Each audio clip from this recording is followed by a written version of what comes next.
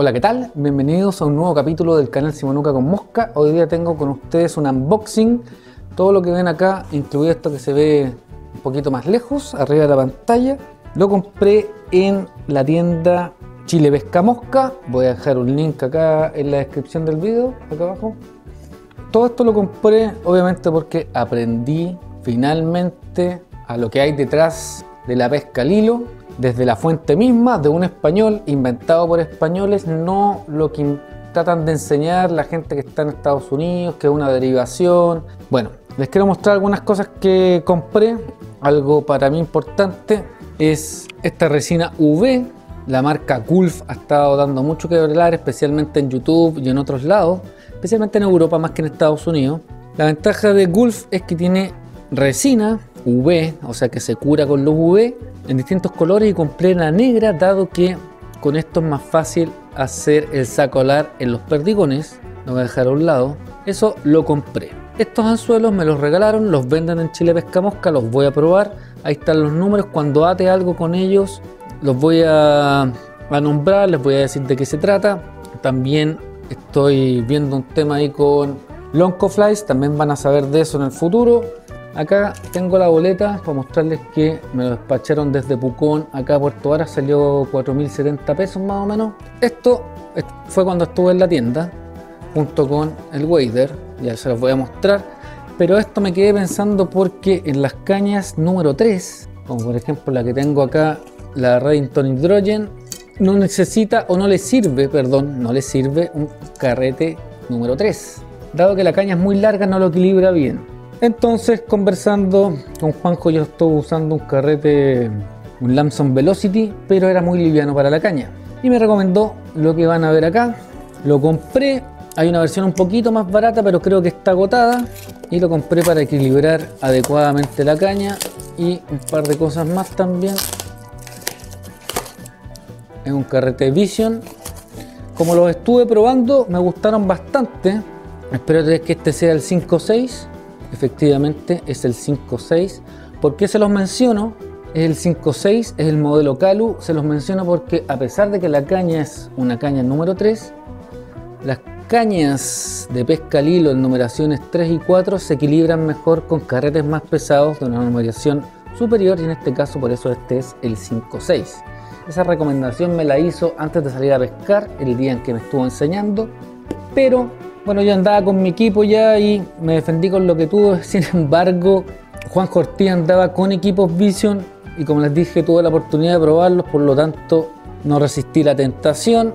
Se los voy a mostrar. Quiero que sepan que aquí hay algunas otras cosas que les voy a ir contando de qué se tratan, pero que sepan que no que sepan que esto lo compré con mi dinero, salvo lo que les mostré ahí en el caso de los anzuelos y en el caso del waders me hicieron un descuento compré otra resina, en este caso es la clásica de Gulf. ¿Por qué la compré?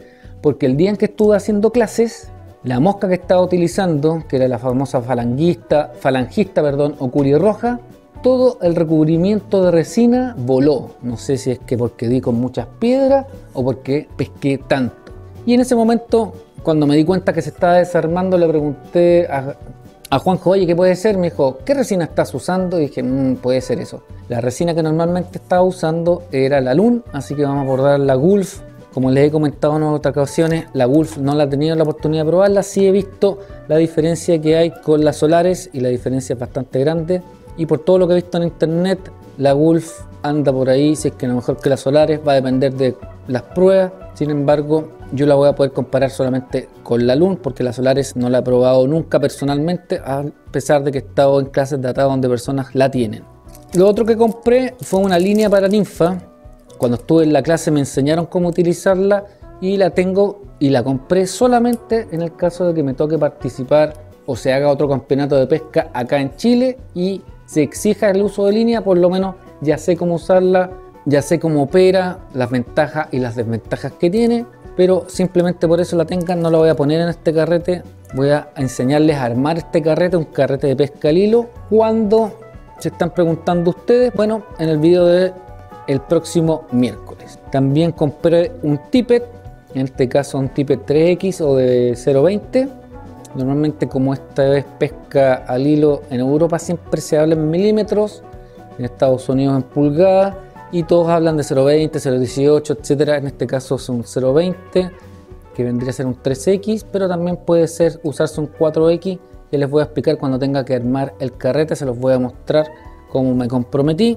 Compré backing también para armar el carrete y ahora vamos a ver el carrete.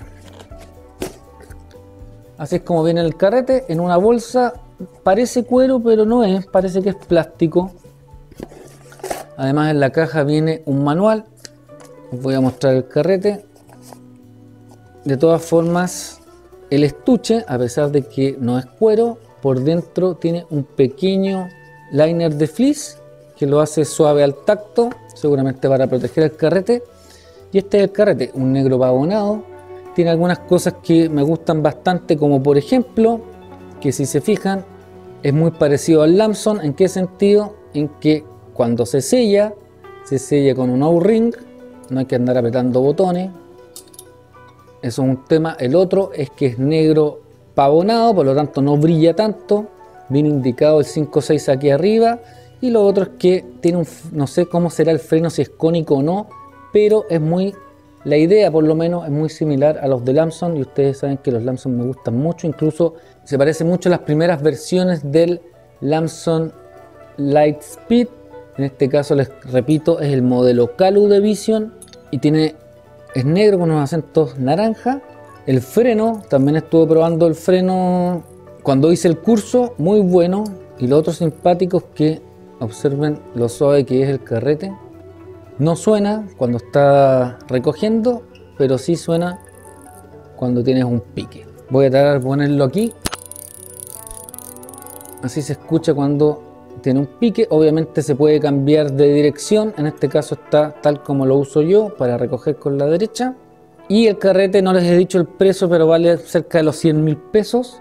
Hay bobinas de reemplazo, así que no se pierdan el video del miércoles en donde vamos a armar desde cero un carrete para la pesca al hilo. Comentarles también que estamos haciendo varias cosas en el canal, hay bastantes iniciativas, ya estoy en los 9.946 suscriptores, cuando llegue a los 10.000 voy a hacer un concurso para todo el mundo y además nos estamos asociando con distintos youtubers que nos dedicamos al tema de la pesca con mosca en YouTube. Estoy con conversaciones con un español para que él va a hacer un concurso en su canal y el concurso se va a tratar de que si es que están suscritos a mi canal y al canal de él, entonces él va a sortear una caja de moscas que son más o menos 100 dólares en moscas porque su canal se especializa en el atado.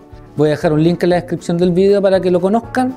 Y él, a medida que va atando moscas en YouTube, esas las va guardando y ese es el sorteo que va a hacer cuando termine en abril de hacer sus las moscas de abril, las va a agregar a la caja y las va a sortear. Bueno, finalmente esto que ven acá es un wader les comenté, a lo mejor los que son nuevos en el canal no lo saben, hace dos años ya me robaron muchas cosas, entre ellos un wader tipo pantalón que me gustaba mucho, que era el Reddington Sonic Drive pantalón. Y en el caso de Vision, Vision tiene un pantalón, este es el wader, también lo compré, eso es lo que vale, 175 mil pesos, es el modelo Icon Guide Wader en talla M, me los probé. Parecen un poquito grandes cuando uno está de pie, pero si sigue la técnica que les enseñé en agacharse para ver que no quede tirante, me queda bien. Es importante ese punto. Lo otro viene con unos suspensores que se sacan. Estos suspensores los estuve probando en seco, no usé este waders. Pero así es como viene.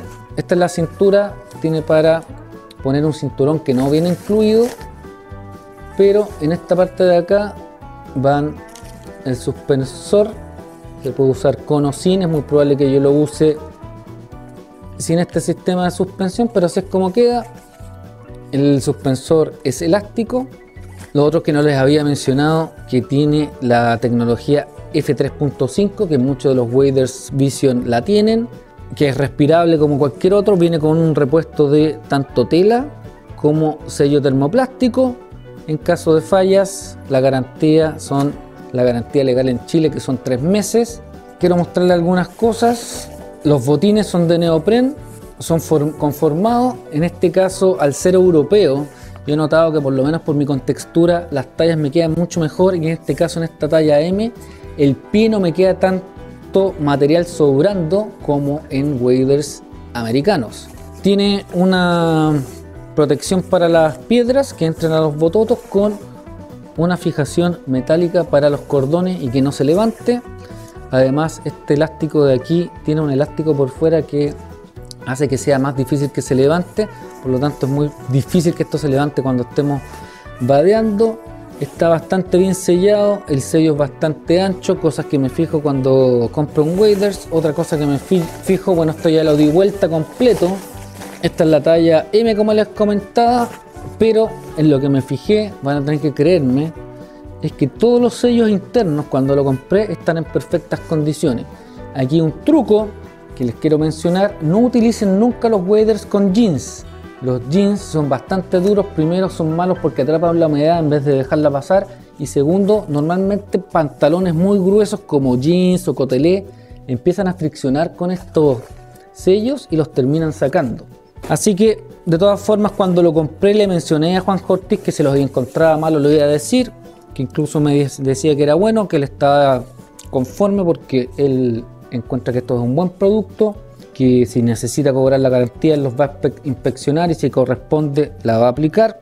Lo otro es que en las piernas, tanto adelante como atrás, tiene más capas que el resto del cuerpo, aunque el resto del cuerpo no es mucho más lo que tiene, porque como no es completo, de todas formas voy a hacer un video en terreno usándolo y contándole mis primeras impresiones, todavía no lo he probado, así que no les puedo contar, pero por lo menos con lo que he visto desde cómo está cosido, cómo están sellados, que ninguna de estas sellos está suelto o tiene orillas despegadas.